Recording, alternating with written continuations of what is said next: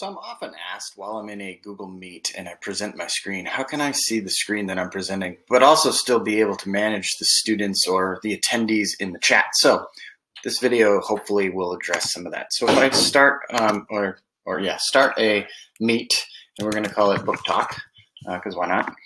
Um, basically what we're gonna do is jump into a Meet and I'm going to present my screen like you would normally see.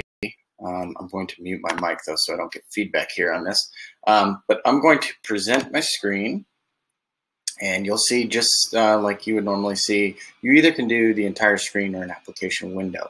Um, what I like to do is cancel this for a second because it does make sense if you can do a window, not your whole screen. The minute you go whole screen, if you do a full screen, all you're going to be able to see is what you're presenting to, to your attendees. Your attendees will still be able to see you in the screen, but you can't kind of manage that. So um, what I've done is I have two tabs open. One is Meet, and one is my best practices document, which I plan to share with my attendees.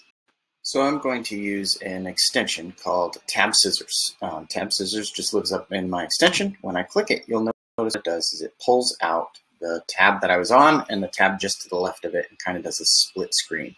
This is great because now I can resize this screen over here to the right to showcase some of my students and I can do the left screen so I can still see what's going on. So now when I'm in Meet and I click Present Now, instead of doing full screen or entire screen, I'm just going to do the application window and I'm going to say best practices.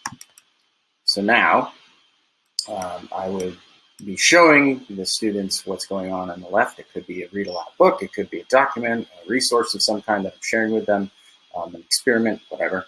And on the right, if I had people in my Meet, I would still see them down the right side, um, and I wouldn't have to worry about flipping back and forth or not understanding things.